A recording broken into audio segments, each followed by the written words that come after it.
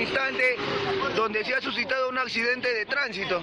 Ya eh, al parecer hay dos personas con vida. La Panamericana Norte volvió a ser escenario de un accidente que pudo terminar en tragedia.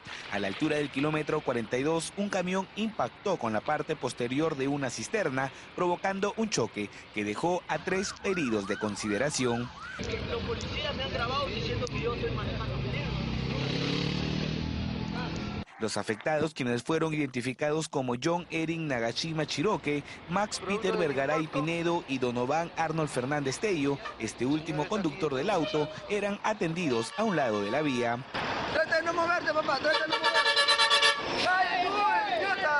Los bomberos y la policía tuvieron una ardua labor para sacar a los pasajeros que quedaron atrapados dentro de la unidad. Tras varios minutos de trabajo, todos los heridos fueron derivados al hospital de Puente Piedra.